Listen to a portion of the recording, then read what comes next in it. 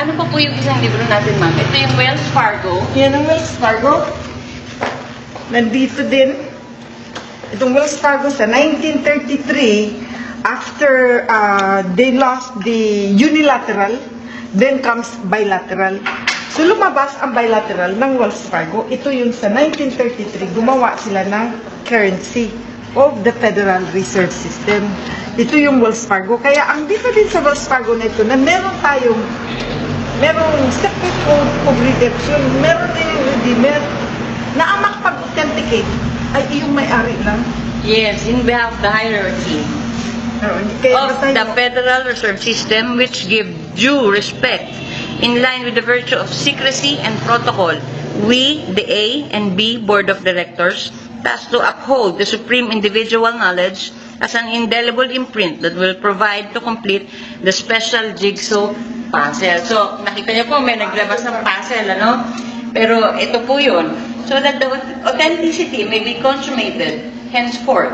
The reputable people involved of this worthy cause were sealed to embrace the magician's code, the Omerta, which will make skeptics breed doubts against themselves. With the collusion of functions of the people behind this clandestine, tago talaga, scheme, all will come to pass once the key of the archives will be open and speak truth to all the things that we wanted to know, that all were done systematically to deliver the message that were written, follow the guideline of being genuine, true, and authentic. So, cloaked in secrecy po lahat. Ginawa nilang, pinaikot-ikot nila. So, talagang niliyo, niliyo nila yung mga tao kasi alam nila, nalalabas sa sa end times ang, ang talagang may-ari, ang susi. At mahihirapan po ang mga kalalakihan tanggapin ito ng dahil sa kanilang ego na mas lumaki pa sa kanilang ulo. Babae po, babae po ang nagmamay-ari at siya po ang alpha and omega, ang ah, susi. So, Queen of the South, Queen of Flower, Queen of ano, ang, ang bottom line po niyan ay Queen of all accounts, di ba? Yan ang hindi Mother naiintindihan. Mother- Kaya ang tawag nun mother account. It- Mm-mm. ito, nandito din ang illegal map na i-explain mo yan. Ayan ang Iligan map. Ang Region 10 plays a big role sa sa ano, sa In our constitution, in our in our constitution saka sa mundo. Oo. Hindi lang basta sa Pilipinas. Ma'am, at ito ang ang bayang sinilangan ni Ma'am. Ah, minsan kasi napapatong-patong na yung Ito yun ang ang star. There's a star here. It says Iligan City. Mhm. And this is the Maria Cristina Falls. This Yeah. is where I was born. Mhm. In Buroon, then they changed it to Tinago. Kaya ang tinago ay pilit tinago. Pilit na Tinago. Hindi niyo ba yan na tatanong na bakit na pilit binubura sa isipan natin sa kamalayan natin ng Maria Cristina at ang tinago. Kasi dyan po pinanganak ang, ang Alpha ang Omega. Ang pinili, ang uh, chosen, ang anointed one. At yan po, hindi po yan na, hindi po kami nagpapaka-holier than thou, pero para sa atin po lahat to. Makatotoo lang tayo. Ang huli naman is word yun na makatotoo sa, Ito. sa in thoughts, in words, and in deeds. And Ito that's po what- kasi ang magpapalaya sa atin lahat bilang Pilipino sa pagiging slaves. Yes. Kaya nandyan ang redemption, nandito ang terms and condition of the, all the accounts. Yan yan. Okay. So, ang uh, ang, ang treaty po ay ang secret book of redemption din. Ito rin po yun.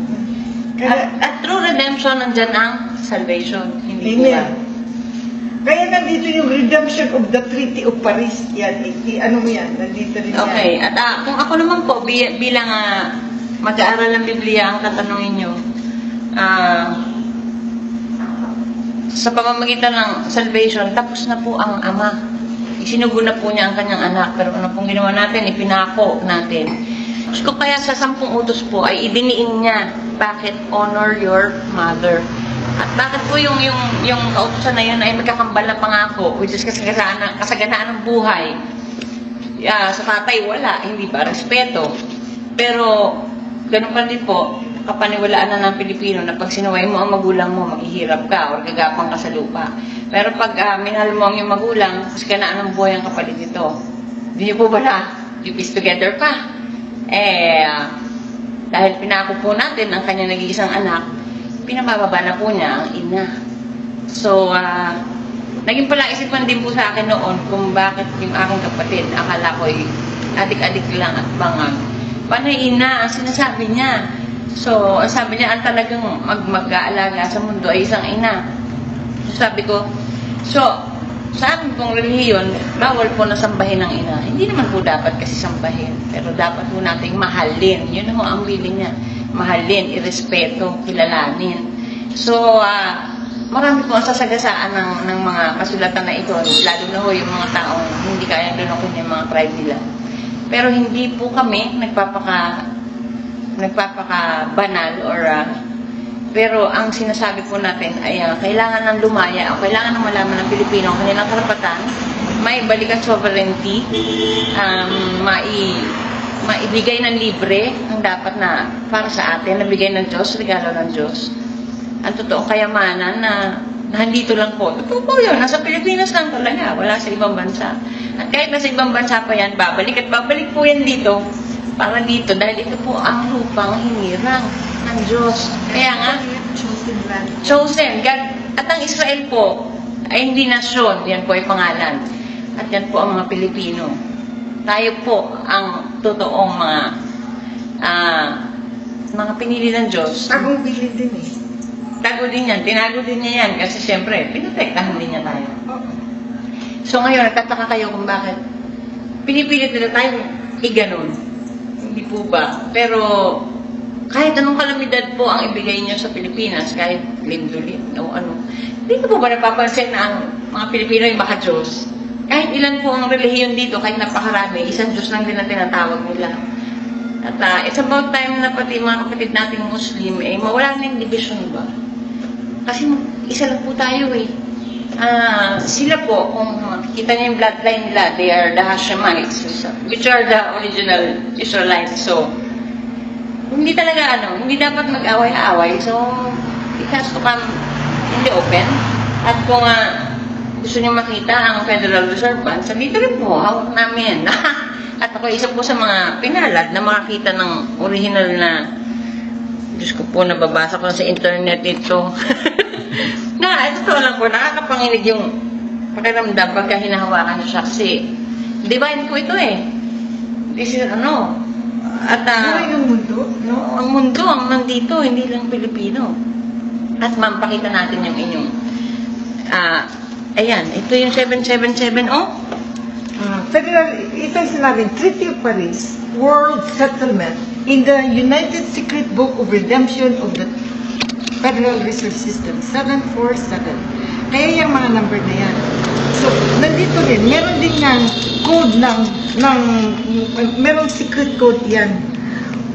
Basahin mo nga yan, ano, Okay, the lasting and indelible printed testimony as documented by the authoritative signa- signatories designated by the people who have illusions and visions to foresee the future of what has to become as to was written by the divine intervention pa rin. Divine intervention, even in our constitution, in the preamble, it says under divine providence Yes, at ah, of the Almighty. Ito po yung inventory list. Nakasulat po dito, World Settlement, Settlement Certificate, Treasury Certificate, Insurance Certificate, International Immunity Certificate, global po yung immunity na yan, Bank Certificate, Guarantee Certificate, Letter of Extraction, yan yung LOI, Inventory List, Engagement Certificate, Gold and Silver Certificate, Bank of the Treaty of Paris, and AU Deposit Quantity, one, ano po?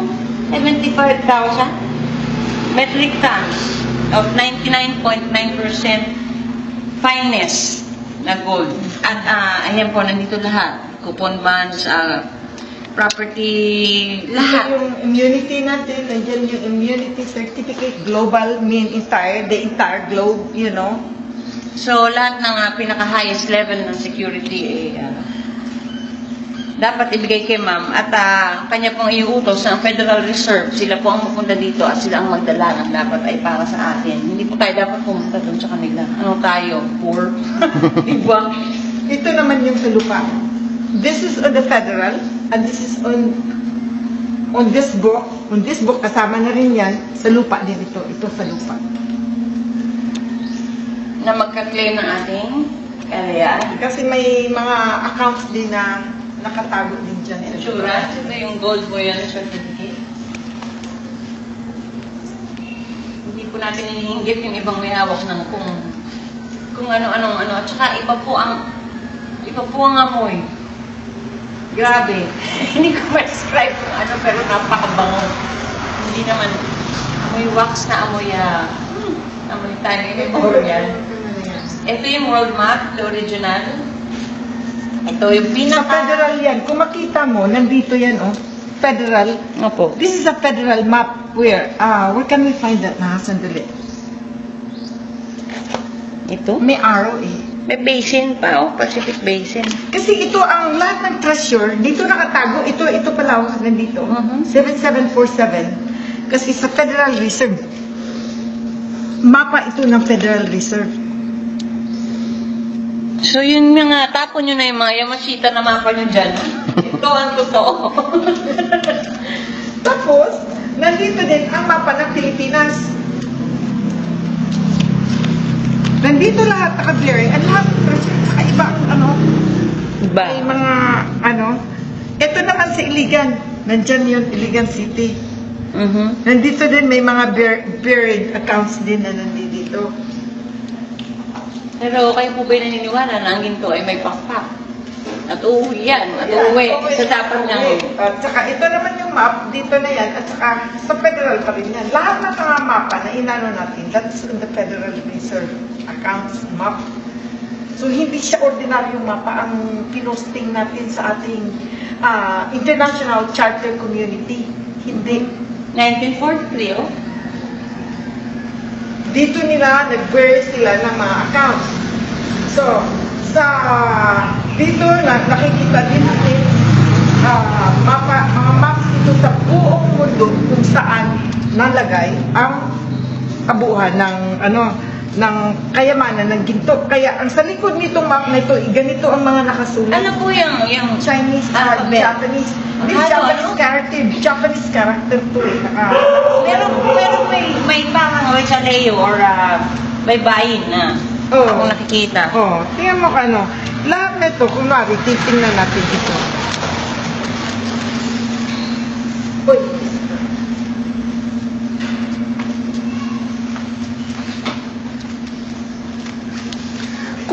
To kasi it's given to us. Complete.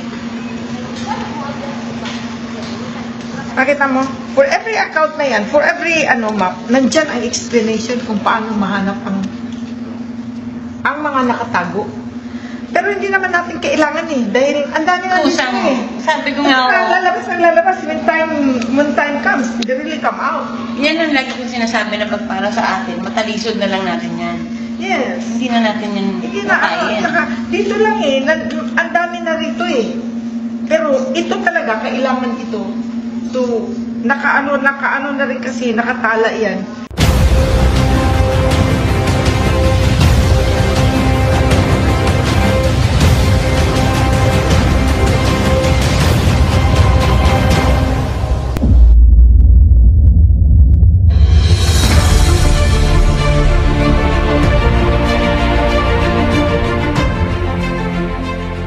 Maraming maraming maraming salamat po sa walang sawang pagtangkilik at pagsuporta sa The Filipino Times featuring the Divine Legitimate Government, Kingdom Philippine Hacienda, the Sovereign Host Nation. Kami po ay lubos na nagpapasalamat sa walang sawang pagsubaybay sa aming mga programa sa pagsiwalat ng katotohanan. Nawa po tayo po ay magkaisa para po sa isang layunin upang maitaguyod ang inang bayan bilang isang makatao, makajos, makabansa makakalikasan, malaya at nagkakaisa. Maraming salamat po.